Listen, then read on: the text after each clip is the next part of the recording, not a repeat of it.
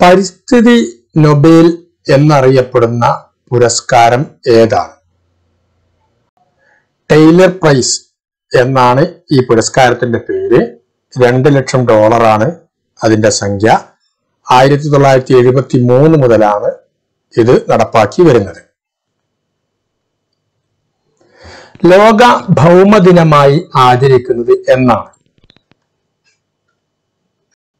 April ഇരുപത്തിരണ്ടിനാണ് ലോക ഭൗമദിനമായി ആചരിക്കുന്നത്. Taylor price ലഭിച്ച ആദ്യ ഇന്ത്യക്കാരൻ ആരാണ്? എം എസ് സ്വാമിനാഥനാണ്. ആയിരത്തി തൊള്ളായിരത്തി തൊണ്ണൂറ്റി ഒന്നിലാണ് ഈ പുരസ്കാരം അദ്ദേഹത്തിന് ലഭിക്കുന്നത്. പരിസ്ഥിതി സംരക്ഷണത്തിന് വേണ്ടി ഇന്ത്യയിൽ പ്രവർത്തിക്കുന്ന ട്രൈബ്യൂണൽ ഏതാണ്? ഈ ട്രൈബ്യൂണലിന്റെ പേര് എന്താണ്? ദേശീയ ഹരിത ട്രൈബ്യൂണൽ എന്നാണ് ഈ ട്രൈബ്യൂണലിന്റെ പേര്. ആഗോള ആഗോളതാപനത്തിന്റെ അപകടങ്ങളെക്കുറിച്ച് ഉള്ള പ്രശ്നം പഠിക്കാൻ കടലിനടിയിൽ മന്ത്രിസഭായോഗം ചേർന്ന രാജ്യം ഏതാണ്? കടലിനടിയിൽ മന്ത്രിസഭായോഗം ചേർന്ന രാജ്യം ഏത്? മാലിദ്വീപ്. മാലിദ്വീപ് എന്ന് പറയുന്ന കൊച്ചു രാജ്യമാണ് കടലിനടിയിൽ യോഗം ചേർന്ന രാജ്യം. റംസാർ കരാർ ഒപ്പുവച്ച വർഷം ഏതാണ്? തണ്ണീർത്തടങ്ങളുടെ സംരക്ഷണവും ഉപയോഗവും ഒക്കെ ഏകോപിക്കുന്നതിന് വേണ്ടിയുള്ള ഒരു വേദിയാണ് ഇത്. ഈ ഇത് റംസാർ കരാർ ഒപ്പുവെച്ച വർഷം ഏതാണ്? ആയിരത്തി തൊള്ളായിരത്തി എഴുപത്തി ഒന്നിലാണ് ഈ കരാർ ഒപ്പുവെക്കുന്നത്. കേരള വന നിയമം നിലവിൽ വന്നത് എന്നാണ്. ആയിരത്തി തൊള്ളായിരത്തി അറുപത്തി ഒന്നിലാണ് കേരള വന നിയമം നിലവിൽ വന്നത്.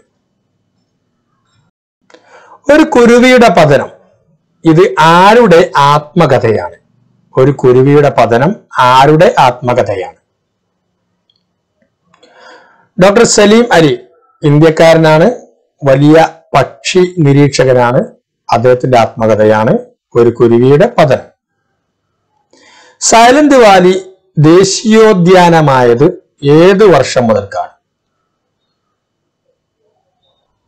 ആയിരത്തി തൊള്ളായിരത്തി എൺപത്തിനാല് മുതലാണ് സൈലന്റ് വാലി ദേശീയോദ്യാനമായി ഉയർത്തപ്പെട്ടത്.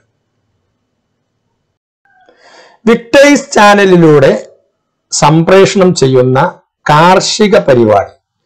കൃഷി പ്രവർത്തനങ്ങൾക്ക് മുൻതൂക്കം കൊടുക്കുന്ന പരിപാടിയാണ്. ആ പരിപാടിയുടെ പേര് എന്താണ് നൂറുമേനി. നൂറുമേനി എന്നാണ് ആ പരിപാടിയുടെ പേര്. ഇന്ത്യയിലെ ആദ്യ ഇക്കോ ടൂറിസം പദ്ധതി നടപ്പിലാക്കിയത് എവിടെയാണ് തെന്മലയാണ്. തെന്മല കൊല്ലം ജില്ലയിലെ തെന്മലയിലാണ് ഇക്കോ ടൂറിസം പദ്ധതി ആദ്യമായി നടപ്പാക്കിയത്. കേരളത്തിലെ ഏറ്റവും ചെറിയ ദേശീയോദ്യാനം എന്നറിയപ്പെടുന്നത് ഏതാണ്? പാമ്പാടും ചോര. ഇടുക്കി ജില്ലയിലെ പാമ്പാടും ജില്ല ചോരയാണ് ഏറ്റവും ചെറിയ ദേശീയോദ്യാനം പശ്ചിമഘട്ടത്തെ ലോക പൈതൃക കേന്ദ്രമായി യുനെസ്കോ തെരഞ്ഞെടുത്ത വർഷം. പശ്ചിമഘട്ടത്തെ ലോക പൈതൃക കേന്ദ്രമായി യുനെസ്കോ തെരഞ്ഞെടുത്ത വർഷം ഏതാണ്? രണ്ടായിരത്തി പന്ത്രണ്ടിലാണ് തെരഞ്ഞെടുത്തത്. രണ്ടായിരത്തി പന്ത്രണ്ടിൽ ഐ യു സി എന്നിന്റെ അതായത് international union for conservation of natural ആസ്ഥാനം എവിടെയാണ്? ഈ ഐ യു സി എൻ എന്ന് പറയുന്നത് പ്രകൃതിയെയും അതിന്റെ വിഭവങ്ങളെയും ഒക്കെ സംരക്ഷിക്കാനുള്ള ഒരു സംഘടനയാണ്. ഇതിന്റെ ആസ്ഥാനം ആയിരത്തി തൊള്ളായിരത്തി നാൽപ്പത്തി എട്ടിലാണ് ഇത് രൂപം കൊണ്ടത്. ഇതിന്റെ ആസ്ഥാനം എവിടെയാണ്? സ്വിറ്റ്സർലൻഡാണ് ഐ യു സി എന്റെ ആസ്ഥാനം. ലോക ഓസോൺ ദിനം എന്ന എന്നാണ് ലോക ഓസോൺ ദിനമായി ആചരിക്കുന്നത്. സെപ്റ്റംബർ പതിനാറിനാണ് ലോക ഓസോൺ ദിനമായി ആചരിക്കുന്നത്. കണ്ടൽ കാടുകൾക്കിടയിലെ എന്റെ ജീവിതം ആരുടെ ആത്മകഥയാണ്? കണ്ടൽ കാടുകൾക്കിടയിലെ എന്റെ ജീവിതം എന്നത് ആരുടെ ആത്മകഥയുടെ പേരാണ്? കല്ലയൻ പൊക്കുടൻ എന്ന് പറയുന്ന വ്യക്തിയുടേതാണ്. അദ്ദേഹം വളരെ പ്രസിദ്ധനാണ്.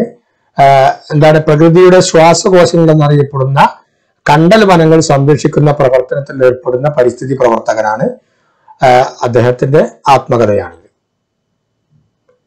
ഗ്രീൻ പീസിന്റെ ആസ്ഥാനം. ഗ്രീൻ പീസിന്റെ ആസ്ഥാനം പരിസ്ഥിതിക്ക് വേണ്ടി ആഗോളതലത്തിൽ പ്രവർത്തിക്കുന്ന ഒരു സംഘടനയാണ് ഗ്രീൻ പീസ്. ഇതിന്റെ ആസ്ഥാനം എവിടെയാണ് ആംസ്റ്റർഡാം. നെതർലൻഡിലെ ആംസ്റ്റർഡാമാണ് ഗ്രീൻ പീസിന്റെ ആസ്ഥാനം.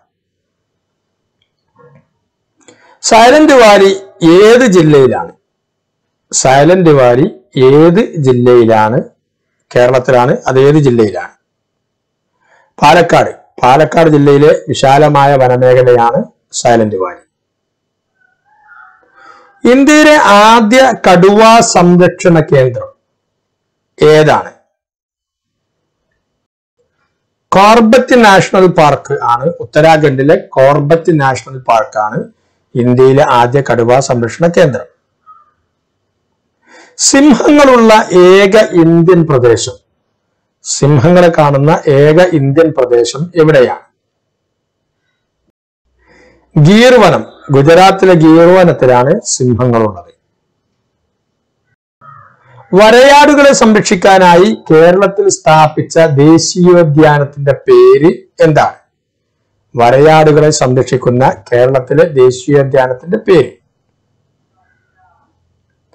ഇരവിക്കുളം നാഷണൽ പാർക്ക് ഇടുക്കി ജില്ലയിലെ ഇരവിക്കുളം നാഷണൽ പാർക്കാണ് വരയാടുകളുടെ കേന്ദ്രം എന്നറിയപ്പെടുന്നത്. ഇന്ത്യയിൽ ഏറ്റവും കൂടുതൽ വനപ്രദേശമുള്ള സംസ്ഥാനം ഏതാണ്? ഏറ്റവും കൂടുതൽ കാടുകളുള്ള സംസ്ഥാനം ഏതാണ്? മധ്യപ്രദേശ്. മധ്യപ്രദേശിലാണ് ഇന്ത്യയിൽ ഏറ്റവും കൂടുതൽ വനമേഖലയുള്ള സംസ്ഥാനം.